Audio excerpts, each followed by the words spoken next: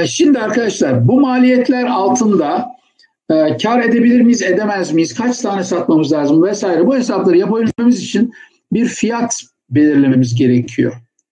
Size biraz önce ben ücret diye sorduğumda siz bunu fiyat olarak anladınız ve bana verdiğiniz cevaplar 3, 4, 5, 6, 7 diye gidiyordu.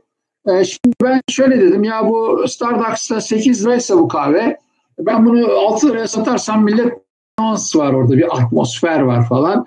Arkadaşın aradığı zaman e, işte ben Starbucks'tayım falan diyorsun. E, ücretsiz Wi-Fi hizmeti kullanıyorsun. E, ve işte etrafı seyrediyorsun. Seyrediyorsun ve seyrediliyorsun. E, bu hizmetlerin bir karşılığı var. Orada aslında kahveye verdiğiniz 14 lira 16 liranın önemli bir kısmı bu ambiyans ve periferal hizmetlere harcanıyor. E sen e, evet Instagram'dan story atıyorsun Starbucks bardağıyla. E, e, güzel. E, Ufacığım Starbucks'tan reklam almadık. e, Starbucks piyasaya girmeye çalışıyor. Onlara reklam satmayı düşünüyor. e, Şimdi bunlarla eğer rekabet edeceksek, Murat Hoca bu konuya çok daha e, ince ve detaylı girecek. Biraz daha böyle maliyet e, makul olmalı diye düşündüm. Bir de yani ya 1 lira 2 lira falan yaparsak da bu işin altından kalkamayız diye düşündüm. 3 lira dedim. 3 liralık bir fiyat. Şimdi ileride bunu tabii değiştirebiliriz ama fiyat 3 lira olursa arkadaşlar katkı payı dediğimiz şey Fiyat eksi değişken maliyettir. Yani katkı payı çok kötü bir terim ama contribution margin'in Türkçesi, en iyi Türkçesi katkı payı. Yani her sattığın kahveden değişken maliyetleri çıkarttığında sana kalan katkı. Yani kahvenin, suyun, şekerin e, bu paraları çıkardığında sana 2.35 kalıyor.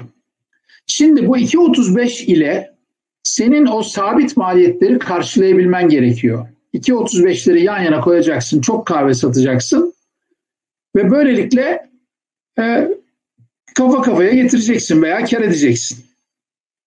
Şimdi 2.35 ise katkı payı yani 3 eksi 0.65 kaç bardak satmamız lazım ki kafa kafaya gelelim. Bunun için de kaç 2.35 gerekir ki sabit maliyetleri karşılayabilirim sorusunu soruyoruz. Sabit maliyetleri katkı payına bölüyoruz. Evet Havva Nurcuğum bunun İngilizcesi break even, break even point. Ee, başa baş noktası break even point yazmışım. Sabit maliyetlerin çıktığı nokta. Bu noktadan sonra kara geçiliyor.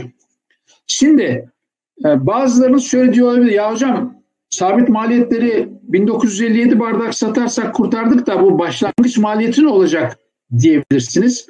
Oraya geleceğiz. Şimdilik orayı bir kenarda tutuyoruz tamam mı? Şimdi şu başa baş noktası o kadar önemli ki ben yani yan, yanılmıyorsam endüstri mühendisliği okuduğum halde e, iki veya üç farklı derste Boğaziçi'nde e, bu konuyu görmüştüm. Hem operations'da görmüştük hem e, managerial accounting'de görmüştük. Muhasebe dersinde görmüştük hem de ekonomide görmüştük galiba. Yani gerçekten iş iş yapmak için çok önemli bir nokta. Ve birçok şirket, birçok kurum, birçok kuruluş her ürünü için başa baş noktasında olduğunu doğru hesaplayamıyor. Çünkü bu maliyetleri burada çok kolay bir operasyon. Maliyetleri çıkarmak kolay ama operasyon komplikeleştikçe maliyetleri çıkarmak zorlaşıyor.